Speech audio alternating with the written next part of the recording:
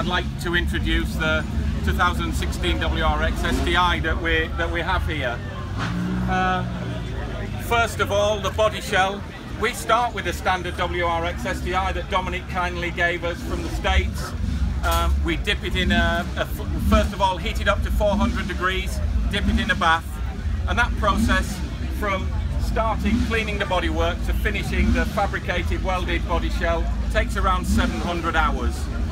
Uh, you can see that firstly the, the, safety cage inside the car, all built to current FIA regulations. Pretty obvious, but what's not so obvious are the subtle tubes coming through to the to the suspension pickup points and then down to the cross member. And that really allows you to put some stiffness into the body shell. That's vital from a safety perspective, but also from a setup perspective as well.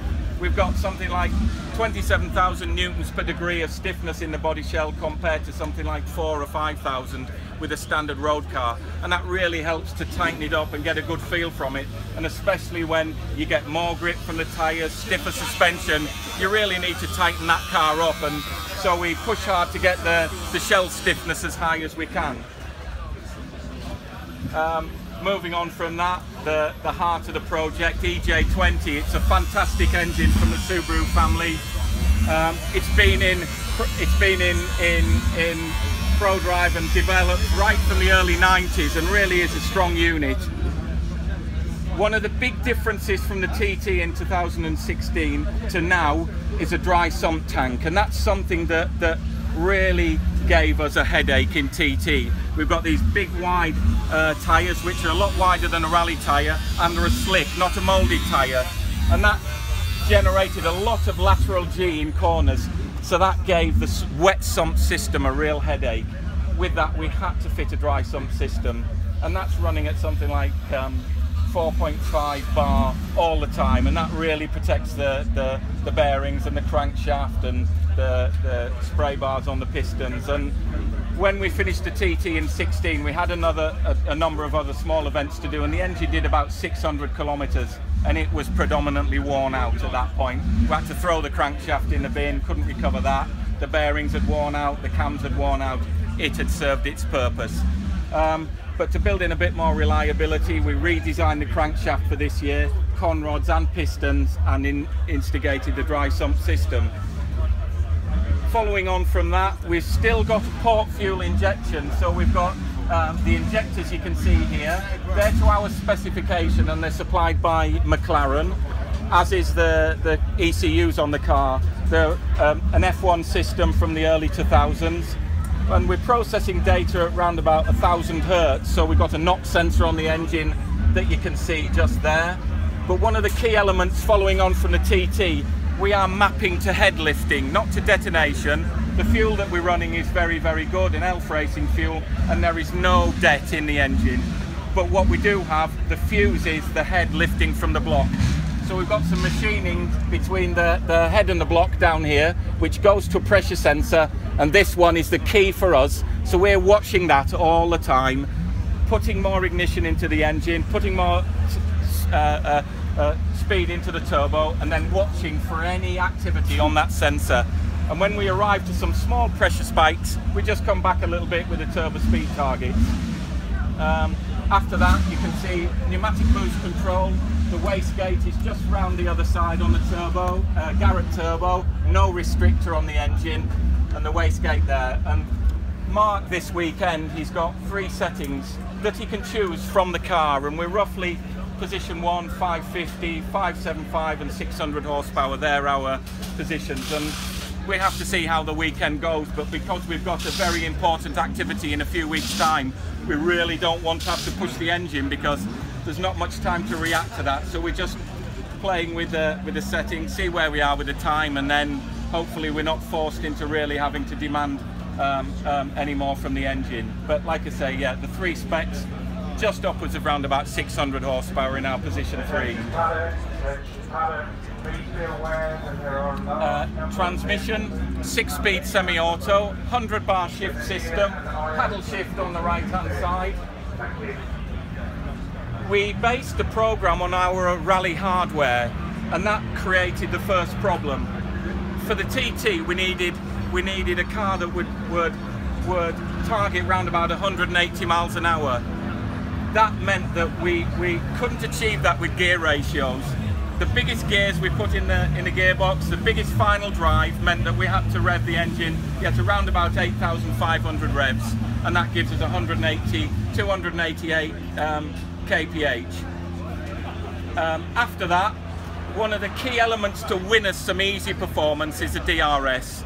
Um, and we've got a 14 degree change on the wing, which is about 20, 27 kilowatts, about 40 horsepower. And that really is an easy win for us, and it was a great project to do.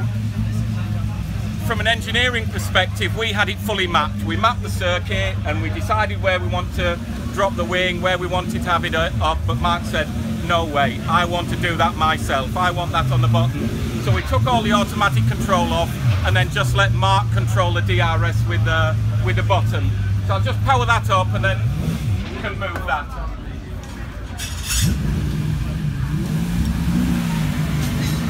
So it's a 10 bar pneumatic system and if you're doing 180 miles an hour it's about 40 meters per second so you really need to have the wing moving very quickly um, when you're covering that type of ground. Um, any any lift off in the throttle or a small application of the brake would normally, if Mark's demanding the wing to be in the down position, the low drag, low drag position, it would immediately come back up again. So we just drop it down, and that's in its down position now. And it's about 20 milliseconds to go up and down.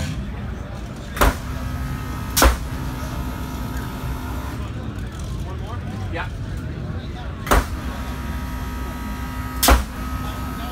The system needs to be very aggressive because in the event of a problem it really needs to fail in the up position which is from a balanced chassis perspective. There's a 300 newton variation on the rear and that really is critical in a very long steady state fifth or sixth gear corner. You need to have control of it and you can't have any, any variation. So we calculate the spring force on the rear wing to counter the air pressure um, at Vmax and then after that our actuators have to overcome that spring pressure. And just to demonstrate the, the, the force required, it's quite considerable. I have to push really hard and we are just on the cusp of being corrected 180 miles an hour, 185 or 190 and the air will actually put that down not with the 5 mil gurney that we've got here. We're running a, a, normally a 10 mil gurney on the TT. We just come down because we don't need the rear grip. We need a little bit more top speed, but we can take that off. So if you see that we're struggling a little bit with speed this afternoon, I'm going to be busy or Arthur is the engine guy. We've put some more turbo speed in the engine and you might see this gurney come off. And if you do, you know we're starting to come to the end of the car's performance for the moment. Oh yeah, and there's always a driver element to it, yeah. We can always find points where he's lifting off the gas. Yeah, yeah. Um, from a suspension brake perspective, again, it's back to our old WRC heritage. We've got 380mm discs, 8 piston calipers.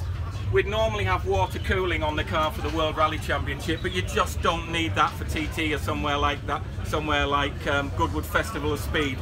So eight piston calipers with four um, pads per caliper.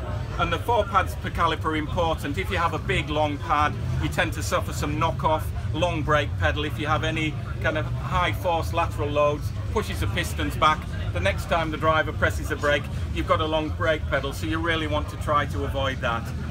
So very big wheel bearing, inherently stiff upright, and uh, the brake arrangement that really gives you a nice feel and a nice responsive brake pedal, which is important. Um, after that, our damper, um, it's made by a company called XTC in the UK. They've been our technical partner for a very long period of time now. Four-way adjustable, pretty straightforward in terms of the normal architecture, but one element which is really nice, a standard Shock MacPherson type strut has a, a DU bush type arrangement we've got a five bearing roller. So we're actually doing a rain dance here this weekend and if we've got some low grip, humid, damp conditions, that's where we really start to be quite good because we can manage our contact very well with our low friction dampers all the bearings, all the suspension on the car has roller bearings, thrust rollers, so you can pick everything up. If you're braking and accelerating, any longitudinal loads fed into the suspension, they don't turn into friction, and friction's your enemy when you're wanting to maximize the grip from the car. Um, so yeah, pretty straightforward. Um, after that, any any questions, guys? yeah. Um, How the shifts again?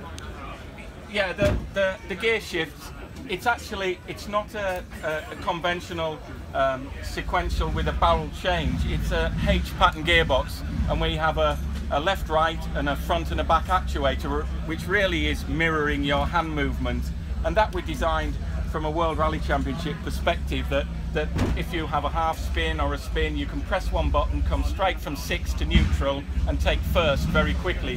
Whereas your conventional um, barrel type sequential gearboxes, it takes you a long time to go six, fifth, fourth, third, second, first with a normal actuator.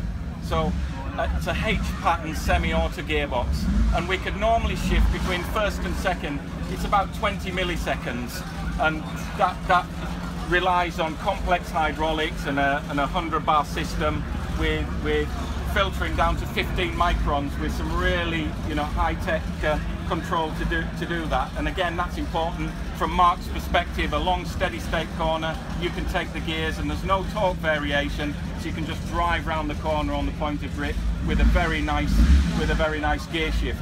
But when Mark initiates a gear change there's a bit of strategy going on. We close the wastegate, we prepare the engine with some ignition parameter, and then we make the shift. And then when we reintroduce the torque, then our turbo speed is still maintained at about 120,000. Yeah, um, Predictions how she'll do today? predictions, yeah. I mean, there's always an element of sandbagging from everybody, and you know, Nick Heidfeld and the Mahindra, yeah, we don't know what, what where their limits are. They don't know where our limits, so we'll just have to wait and see. But we're working on the launch a little bit, and, and when you've got such a short track, the start is vital for us. Um, lower grip conditions this morning, we were getting off the line from zero to 100 in about in 3.1 seconds, and for the moment we won't do much better. And I think on the first split there isn't there isn't anybody that, that, that's any better at the moment, but we're working on that a little bit, and we might be able to find 0.2 or 0.25. But if we push the clutch a little bit too hard, we've got a what a $8,000 triple plate carbon clutch in there. I've got to break the bad news to Bubba that the gearbox needs to come off and we need to reshim the clutch. So maybe lunchtime tomorrow we need to do that. Put one shim in there and it's so important from this multi-plate clutch to get the drive and that's the thing that does all the work. You try to maximise your acceleration but protect the powertrain, protect the drive shafts, everything else. Try not to bog the engine and get a good clean start and then that's vital but you know we, yeah, we're we're only interested in winning ever. You know that's it that's all and that's all we try to do. But yeah we'll see we'll see. What's the top